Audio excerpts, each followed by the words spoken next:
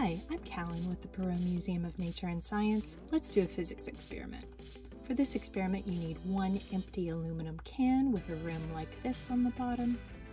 You also are going to need some water. Thank you, Charlie. You'll need a flat surface as well. That's the last thing you'll need for this experiment. So all these things we're using have mass because they are made of stuff. For each object, there's a center of mass where that center is kind of balancing. When the can's upright, it's over the bottom of the can.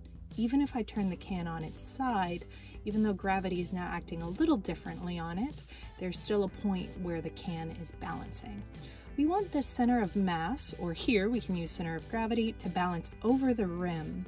It won't work as you can see when it's empty, but if we add some water to the can, we might be able to get it to balance. Try it out.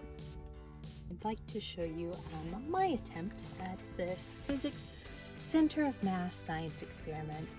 So here what we're trying to do is add enough mass by adding water to this can that it balances over the edge of the rim of the bottom of the can.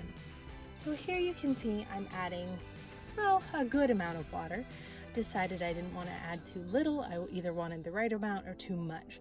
If it balances, uh, you'll see it doesn't topple over, but it did. So I added a little too much water here. So there's too much mass and that pushed the center where gravity's pulling down on the center of mass too far over. And here, even though I took out some water, still having trouble. Let's try it again. So now we're on a real flat surface.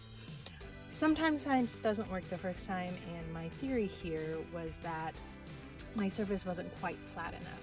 So now I'm trying about that same amount of water, and I'm gonna see how it balances.